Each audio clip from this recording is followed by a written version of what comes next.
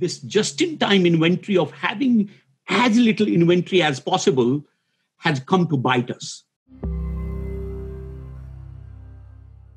The solution is not to create mountain of inventory. That will not happen in high tech and many other industry.